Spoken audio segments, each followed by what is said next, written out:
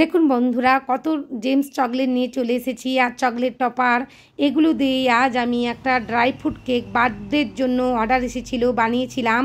চলুন দেখে নেওয়া যাক কেকটা আমি কীভাবে বানিয়েছি। ড্রাই ফ্রুট কেকের উপর আমি ক্রিম দিয়ে ডিজাইন করেছি। আর কি কি লেগেছে আমি দেখিয়ে দিচ্ছি। ডিসক্রিপশান বক্সে সমস্ত কিছুই আমি দিয়ে দেব।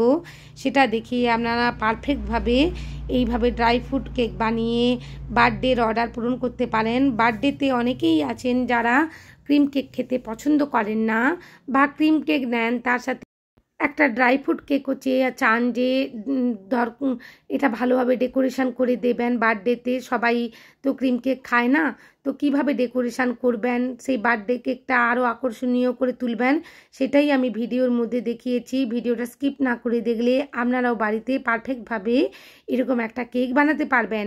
প্রথমেই দেখুন, আমি একটা বাটির মধ্যে সমস্ত বাটার আর চিনিটা নিয়ে নিয়েছি আর একটা স্প্যাচুলা দিয়ে মাখিয়ে নিয়েছি প্রথমে, যাতে আমরা ইলেকট্রিক বিটার দিয়ে বিট করার সময় চিনিটা না উড়ে যায় আর চারিদিকে যাতে না ছড়িয়ে যায়।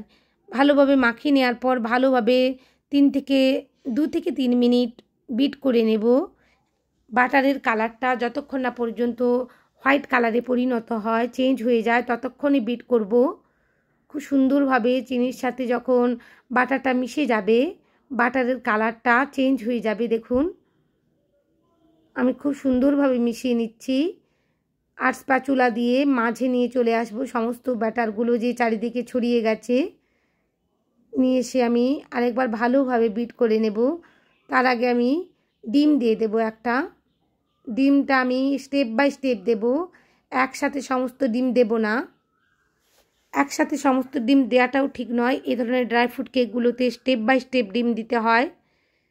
দেখুন, ধীরে ধীরে আমি ডিম দিয়ে ভালোভাবে মাখিয়ে নিয়ে দ্বিতীয় ডিমটাও দিয়ে দিলাম। এইভাবে ডিম দিতে থাকব আর দু থেকে তিন মিনিট ভালোভাবে বিট করব। আমি এখানে ভিডিও ফার্স্ট দেখিয়ে দিচ্ছি, কারণ ভিডিওটা অনেকটাই বড় হয়ে যাবে। আমি যদি স্লো মশানে দেখাতাম, তাই ফার্স্ট দেখানো হচ্ছে। কিন্তু আপনারা দু থেকে তিন মিনিট ভালোভাবে বিট করবেন, তারপরে স্টেপ বাই স্টেপ ডিমটা দেবেন। কখনোই একসাথে সমস্ত ডিম দেবেন না, আর তাড়াতাড়ি করে দিয়ে দেবেন না। দু থেকে তিন মিনিট পর্যন্ত ভালোভাবে বিট করবেন। যে যতক্ষণ না দেখবেন যে ডিমটা ভালোভাবে মিশে যাচ্ছে ব্যাটারের সাথে, ততক্ষণই বিট করবেন। তারপরে স্টেপ বাই স্টেপ ডিমটা দিয়ে দেখুন, আমি শেষ ডিমটাও দিয়ে দিলাম। দিয়ে ভালোভাবে আরও তিন থেকে চার মিনিট বিট করে নেব। যত ভালো বিট হবে তাহলে বাটার, চিনি, ডিম একসাথে মিশে গিয়ে একটা ফমি আকার হবে আর কেকটা তত স্পঞ্জি আর নরম হবে। খেতে ভালো লাগবে টেস্টও খুব সুন্দর আসবে। এই পর্যায়ে এসে আমি ভ্যানিলা এসেন্সটা দিয়ে দিলাম। আর একটু অরেঞ্জ এসেন্সও দিয়ে দিলাম। আমি ড্রাই ফ্রুট কেকে অরেঞ্জ এসেন্স দিতে ভালোবাসি, তাই অরেঞ্জ এসেন্স দিয়ে দিলাম। আর এখানে একটু আমন্ড এসেন্স ছিল আমার কাছে, সেটাও আমি দিয়ে দিয়েছি। আমি আমন্ড কেকের ক্ষেত্রে এই এসেন্সটা ব্যবহার করে থাকি। আমার চ্যানেলে আমন্ড কেকের রেসিপি দেওয়া আছে। আপনারা ডিসক্রিপশান বক্সে লিঙ্কটা দিয়ে দেব। আপনারা একটু সময় করে দেখে নিতে পারেন।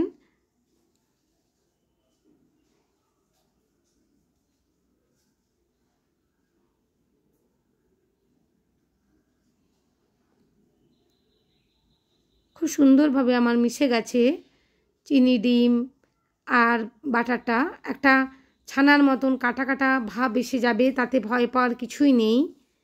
তখন বুঝে যাবেন ব্যাটারটা রেডি হয়ে গেছে। এরপরে ধীরে ধীরে যে শুকনো উপকরণটা রেডি করে রেখেছিলাম, সেটাও দিয়ে দিলাম সমস্তটা ময়দা। আর এখানে বাদাম কুচো করে রেখেছিলাম ছোট ছোট করে, সেটাও দিয়ে দিলাম। আপনারা যে যে বাদাম পছন্দ করেন সব কিছুই দিতে পারেন। আমি এখানে কাজু আর পেস্তা দিয়েছি। আর আমন্ড দিয়েছি। পেস্তাটা অল্প পরিমাণে দিয়েছি, কাজু আর আমন্ডটা বেশি দিয়েছি। ধীরে ধীরে ভালোভাবে আমি মাখিয়ে নিচ্ছি বাদামগুলো। আর আগে থেকে একটা সেভেন ইঞ্চির মোল্ড আমি বাটার পেপার দিয়ে রেডি করে রেখেছিলাম। সমস্ত ব্যাটারটা তার মধ্যেই ঢেলে দেব। আর একশো পঞ্চাশ ডিগ্রি সেন্টিগ্রেডে পঁয়তাল্লিশ মিনিটের জন্য বেক করে নিয়ে আসব। আপনাদের ওভানে, ওভেনের টেম্পারেচার অনুযায়ী আপনারা সেটা করে নিতে পারেন। আর গ্যাস স্টোভের মধ্যে করলে চল্লিশ মিনিট পর্যন্ত করবেন। তারপর একটু দেখে নেবেন, যদি অসুবিধে থাকে, আরও পাঁচ মিনিট রেখে দেবেন। আমার মনে হয় চল্লিশ থেকে পঁয়তাল্লিশ মিনিটের মধ্যেই রেডি হয়ে যাবে কেকটা। এখানে অনেকগুলোই জেমসের চকলেটের প্যাকেট নিয়েছি আর টপারও নিয়ে নিয়েছি। যিনি আমাকে অর্ডার করেছিলেন, উনি প্রায়ই আমার কাছ থেকে কেক নিয়ে থাকেন। উনি বলেছিলেন, একটা উনি ক্রিম কেক নিলেও ড্রাই ফ্রুট কেকও নেন। উনি বলেছিলেন যে, এবারে জেমস চকলেট দিয়ে একটু সাজিয়ে দেবেন। ছোট বাচ্চা জন্মদিনে যাচ্ছে, তো আমা, আমাকে বলেছিলেন পুরোটাই জেমস চকলেট দিয়ে আর আপনার টপার দিয়ে সাজিয়ে দেবেন। তো আমি সেই অনুযায়ী করেছি, দেখুন। কত নরম স্পঞ্জি একটা কেক রেডি হয়ে গেছে। অবশ্যই ঠান্ডা করে মোল্ড আউট করে নেবেন। ঠান্ডা করে আমি মোল্ড আউট করে নিয়েছি আর বোর্ডের মধ্যে একটু ক্রিম লাগিয়ে বসিয়ে দেব কেকটা। আমি প্রথমে পেছন দিক করেই বসাচ্ছিলাম, সামনের দিকটা নিচের দিকে রাখছিলাম, কিন্তু পড়ে যাচ্ছে দেখলাম।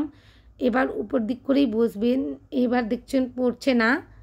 আমি আপনাদেরকে দেখিয়ে দিলাম, আপনারাও এই ভুলটা যেন না করেন। এরপর জেমসগুলোকে চেটানোর জন্য যাতে আটকে যায় কেকের মধ্যে, তাই অল্প করে ক্রিম দিয়ে দিব। চারিদিকে ক্রিম দিয়ে প্যালেন নাইফ দিয়ে ছড়িয়ে দেব ক্রিমগুলো ভালোভাবে, যাতে জেমসটা লাগানোর সময় কোনো অসুবিধে না হয় আমার। আমি এটা বলে দিয়েছিলাম কাস্টমারকে যে কেকের উপর অল্প করে ক্রিম লাগাতে হবে, না হলে আমি জেমসগুলো আটকাতে পারব না।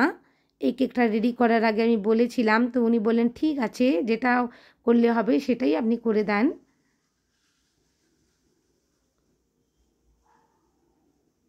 ধীরে ধীরে দেখুন আমি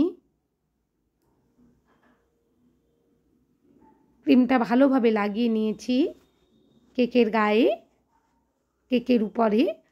এরপর আমি জেন্টস চকলেটটা সাজানো শুরু করেছি। এগুলো অনেকটাই সময় লাগে, ধৈর্য ধরে সময় করে করতে হয়। আমার অনেক সময় লেগেছিল এই জেন্টসগুলো সাজাতে ধীরে ধীরে। আমার সাথে আমার ছেলেও বলছিল, মা, আমি একটু লাগিয়ে দিই। আমি বলছিলাম, না। দেখুন, আমি আগে জেন্টসের প্যাকেট থেকে জেন্টসগুলো কেটে নিয়েছি প্লেটের মধ্যে। তারপরে কীভাবে সাজালে হবে সেটাও রেডি করে নিচ্ছি ধীরে ধীরে। আমি প্রথমে মিডিল থেকে শুরু করেছি, উপর দিক থেকে আপনারা সাইড থেকেও করতে পারেন, কোনো অসুবিধে নেই।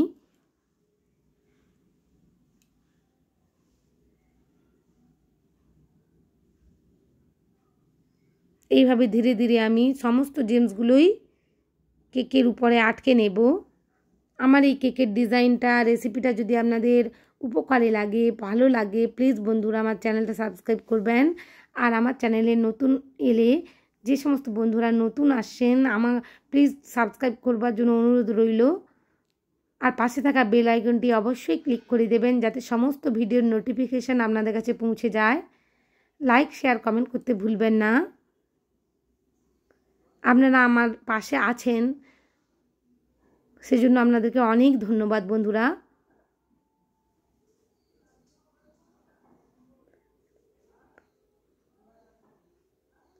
ধীরে ধীরে দেখুন একটা একটা করে চকলেট নিয়ে আমি সারা কেকটাতে ভরে দেব।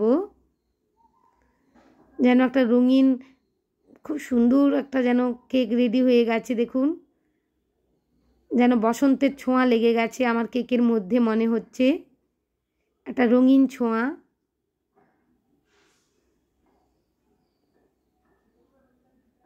আপনারা হোলির দিনও এই ধরনের কেকগুলো বানিয়ে আপনাদের নেবার বা আত্মীয় কাছের মানুষদের খুশি করতে পারেন।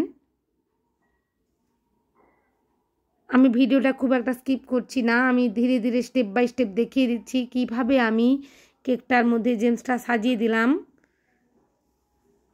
আমার যে সমস্ত বন্ধুরা এই কেকটা বানাতে চান দেখে নিশ্চয়ই বানাতে পারবেন।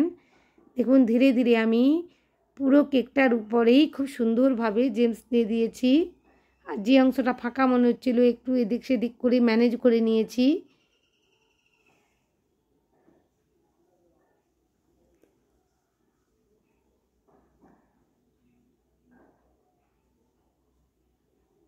ভালোভাবে আমি হাত দিয়ে আটকে দিচ্ছি যাতে না পড়ে যায় নিয়ে যাওয়ার সময়। অবশ্যই ফ্রিজের মধ্যে সেট করে নেবেন ডেলিভারি দিতে দেওয়ার আগে। খুব মজার লাগছে দেখতে, কেকটা এত সুন্দর লাগছে দেখতে। যার জন্য কেকটা বানিয়েছিলাম সেই ছোট্ট মেয়েটি, খুবই খুশি হয়েছিল। ধীরে ধীরে হাত দিয়ে চেপে চেপে দিলাম যাতে পড়ে জানে না যায়। এরপর টপারের গায়েও আমি ক্রিম লাগিয়ে নিয়েছি আর কেকের সাইডগুলো দিয়ে টপারগুলো আমি আটকে দেব। ঘন ঘন টপার দেওয়ার দরকার নেই, খুব কাছাকাছি। একটু দূরত্ব মেনটেন্স করে টপারগুলো লাগালে ভালো লাগবে দেখতে কেকটা।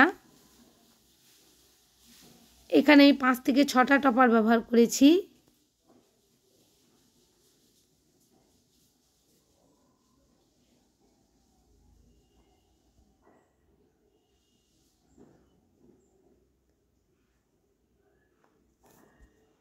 খুব সুন্দরভাবে আমার টপারগুলো লাগানো হয়ে গেল। থ্যাংক ইউ বন্ধুরা, আমার ভিডিও দেখার জন্য, আমার পাশে থাকার জন্য। আর বাড়িতে একবার এই ধরনের কেকগুলো ট্রাই করব।